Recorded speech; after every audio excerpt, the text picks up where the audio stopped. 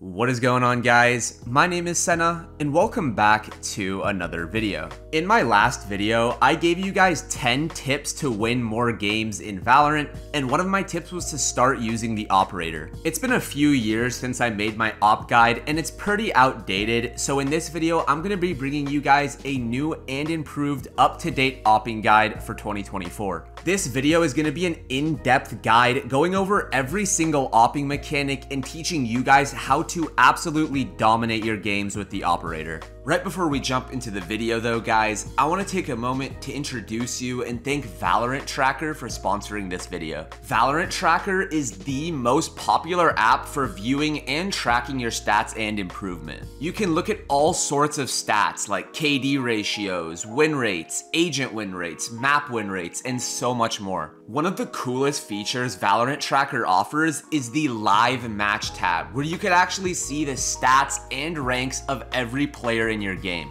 That I also mentioned that Valorant Tracker is 100% free to download and use, and you don't have to pay a single penny to get access to all of these awesome tools. Click my link in the description or pinned comment to download Valorant Tracker today. Huge thank you to Valorant Tracker for sponsoring this video, and with all of that being said, guys, let's jump right into the video. First and foremost, let's talk about why opping is so good and why you should even bother to learn how to op in the first place. Opping is extremely powerful because it allows you to easily get first bloods and first picks at the beginning of the round. Many of you who've been watching my channel for a while now will know that I love preaching about man advantage and how having numbers advantage is extremely important to win your rounds in Valorant. Valorant. When you have an op in your hands and you know how to use it, you are basically guaranteed to get a first blood at the start of the round. Especially for those of you who are stuck in low elo, getting an op going will completely turn the game around in your favor. The only downside to the op is how expensive it is because it will run you 4,700 credits. Saving for an op is really easy and what I do is on second round after you win pistol round, just buy a Marshal. This will guarantee you to be able to buy an op on 4th round, which is the best way to get it going early in a game, at least in my opinion. Cool, now that we know why the op is so good and how to save for it, let's talk about the best agents to op with. As of me making this video, the two most viable agents to op with is going to be Jett and Chamber.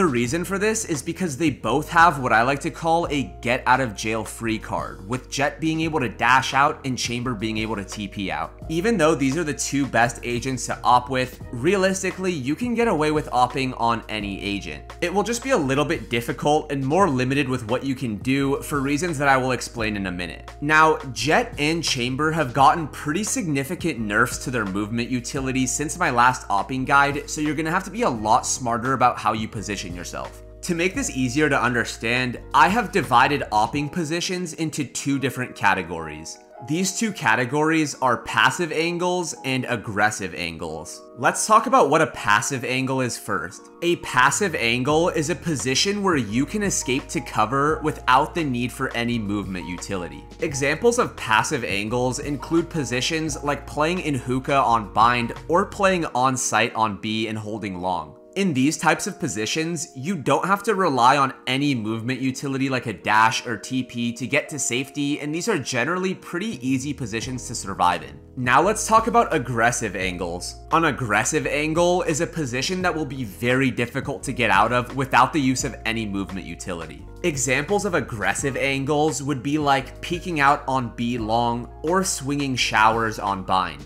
These types of positions are a lot more dangerous and will have you much more committed to a fight and will be a lot harder to get out of without the use of some sort of movement ability like a dash or a TP. Both passive and aggressive angles have a place in time and they're both good when used effectively, but because of the recent Jett and Chamber nerfs, it's a lot harder to get away with using aggressive angles. I personally love using passive angles and you guys will see me use them a lot in my gameplay and I think they're really strong because it's really hard for the attackers to clear you in these spots and you can easily get out of them. The biggest tip that I can give you guys for good positioning is to constantly be unpredictable. Once you op in one spot, the enemies are going to remember that for the rest of the game, which is great for throwing them off and constantly moving around the map with your op. This can also allow you to play mind games because if you've conditioned the enemy team into thinking that you keep going A, B, A, B, you can play B twice in a row and they'll re-hit the site the next round thinking that you're going to rotate. Now that we understand the fundamentals of positioning, let's talk a little bit about peeking. This will mostly have to do with aggressive angles because with a lot of passive angles, you won't need to actually peek because you're already posted up on the angle pre-round. My biggest tip is to never hold shift or walk peek into a common angle with an op. Walk peeking angles will make you an extremely easy shot for your opponent to hit and you'll get one tapped a lot doing this. Jump peeking into angles helps a lot against riflers because it'll be really hard for them to headshot you. They'll usually end up hitting your leg or body, which doesn't really matter because you can just delete them with the op. Another tip for aggressive peaks is to have a teammate help you post up on the angle. For example, having your Skye throw a flash for you, or have your Sova dart for you. This will delay the enemy team and buy you time to position yourself and post up. This will also take their attention away from the angle and distract them from the fact that someone could be holding that angle with an op. I think that pretty much covers peaking pretty well, so let's talk a little bit about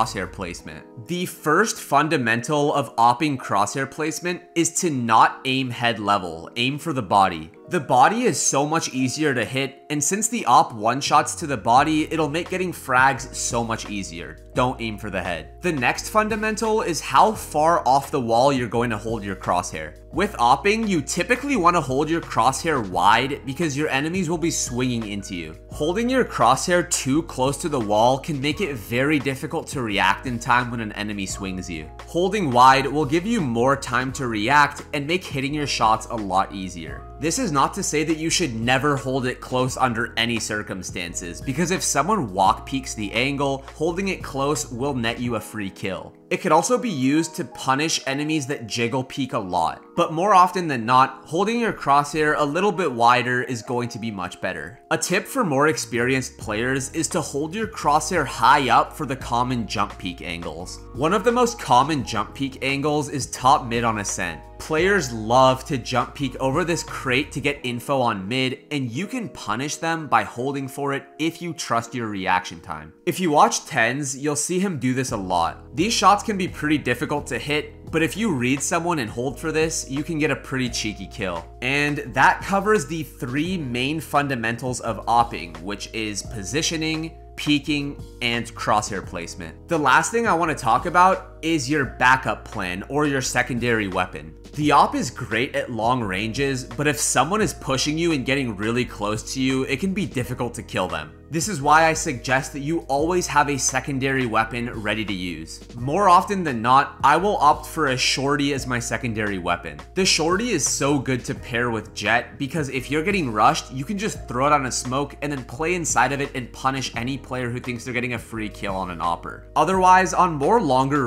ranged maps like Breeze or Icebox, I would opt for a sheriff. It can be really helpful if you're getting pushed and need to take a fight at medium range. Another reason why Jett and Chamber are both really good op agents is because they both have natural secondaries that really complement opping. Jett has her ultimate, which is her knives, which is very, very strong when paired with an op, and Chamber has his Headhunter, which he can whip out at light speed if he ever has to use it. Just having a secondary weapon can be very helpful for complementing your opping, and I always make sure I do this. And I think that pretty much covers everything I wanted to talk about. In this video, I explained to you guys every fundamental about opping and the most effective ways to use it to dominate in your games. If you have any questions or concerns about anything I talked about in this video, drop me a comment down below and I will try to help you guys out. A lot of you guys were asking for an opping guide, so hopefully this video will help those of you who are wanting to learn how to pick up and start using the op. If you did enjoy this video or found it helpful, don't forget to drop a like down below and also subscribe to the channel if you have not already. I have a Discord server linked down in the description below. You guys should come join that. We have a super chill community. We would love to have you. Thank you so much for taking time out of your day or night to watch this video, and I will catch you